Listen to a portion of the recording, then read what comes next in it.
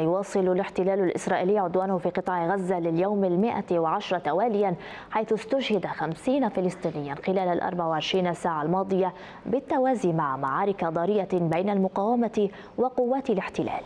هذا ويأتي فيما نفت سلطاته الاحتلال الإسرائيلي صحة تقارير بشأن قرب التوصل لاتفاق مع حماس بشأن المحتجزين لدى الحركة مشيرة إلى أن هناك اختلافا بين موقفي الطرفين بشأن التوصل إلى هدنة غزة.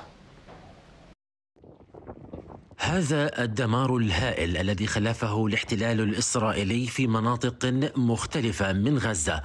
قصف إسرائيلي جوي وبري. حاصر الأسر الفلسطينية لعدة أيام ومنعهم من التحرك من مناطقهم.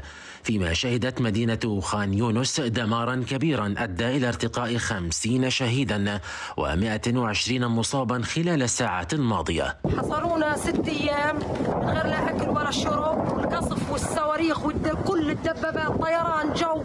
كله علينا.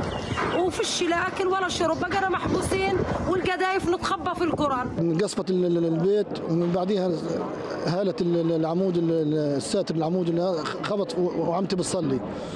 فتنام هي بتصلي. وجنبها حواليها الأولاد الصغار. الأولاد الصغار وأولاد عمتي كلهم جميعهم يعني في الطابق الثاني.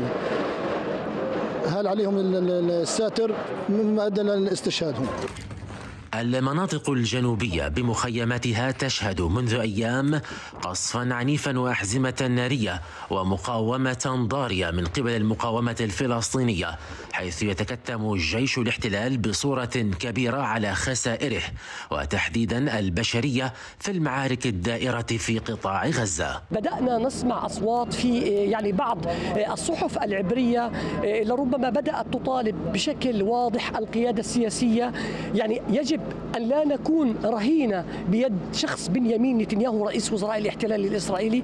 ويجب يعني أن يرضخ نتنياهو للأصوات الإسرائيلية التي تطالب بشكل واضح وصريح بأن يذهب إلى عملية مفاوضات غير مباشرة مع المقاومة الفلسطينية تفضي إلى الإفراج عن الأسرى الإسرائيليين مقابل إيجاد وقف إطلاق نار إنسانيا تتواتر تحذيرات المنظمات الدولية من تعرض مئات آلاف الفلسطينيين المحاصرين خاصة في شمالي القطاع للمجاعة حيث أكدت الأمم المتحدة أن سكان غزة يتعرضون للدمار على نطاق وسرعة غير مسبوقين في التاريخ.